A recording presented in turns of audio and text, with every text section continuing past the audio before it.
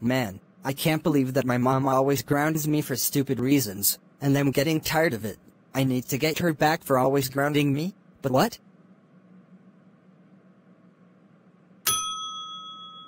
Yes!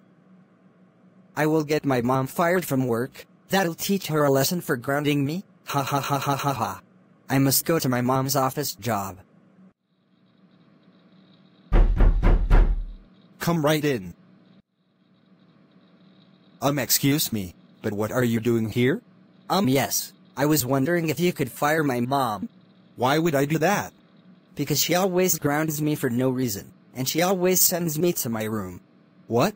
Oh my god, she's gonna be fired. Thanks for telling me, son. You may leave.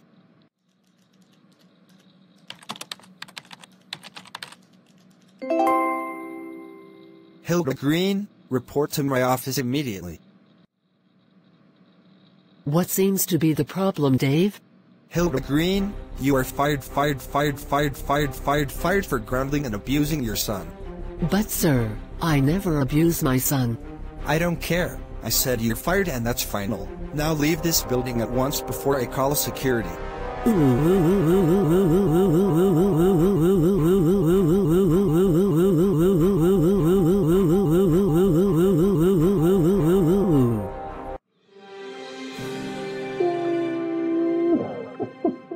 Hey, what's wrong, honey? Oh Poncho, I just got fired from work. Oh no, what happened? I don't know. My boss said that I grounded and abuse our son a lot, but I never abused Chad. Wait a minute, it was Chad who got me fired, or he's gonna get it now. I knew it, that little bastard is gonna get grounded, I will call him down. Chadwick Riley Green, get your ass down here now.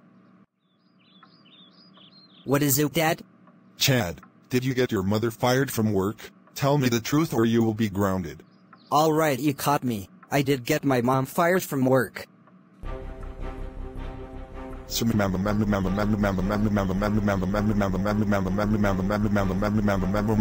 Chad, how dare you get your mother fired from work?